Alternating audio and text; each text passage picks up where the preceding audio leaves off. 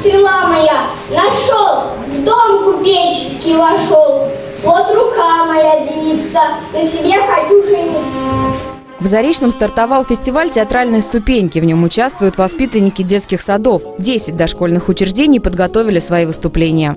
Есть сказки, есть инсценировки, есть музыкально-художественные композиции, есть номинации художественных слов, где ребята будут читать стихи. В детских садах на самом деле часто ставят и крас... интересные инсценировки, сказки. Это очень интересно и красиво, а показать, к сожалению, негде. И нам в прошлом году пришла такая идея пригласить всех ребятишек и поделиться своим творчеством с другими воспитанниками детских садов. Открыли фестиваль воспитанники детского сада номер 7. Они инсценировали сказку Владимира Сутеева «Под грибом».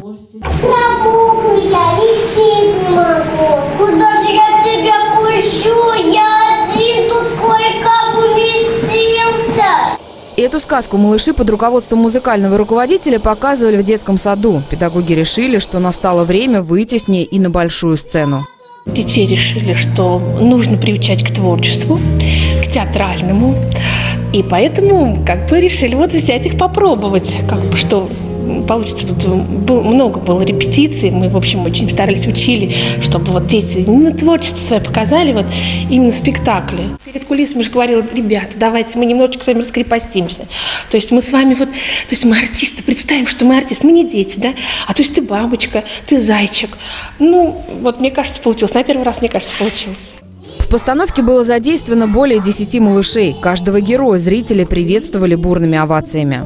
Мне понравилось выступать на сцене.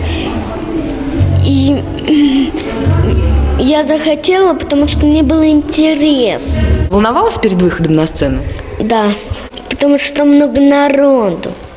Первый день фестиваля свои постановки представили три дошкольных учреждения. 28 марта в детской школе искусств своим творчеством поделятся еще семь детских садов. Оценить мастерство самых маленьких актеров организаторы приглашают всех желающих. Елена Степкина, Сергей Голуб, телерадиокомпания «Заречный».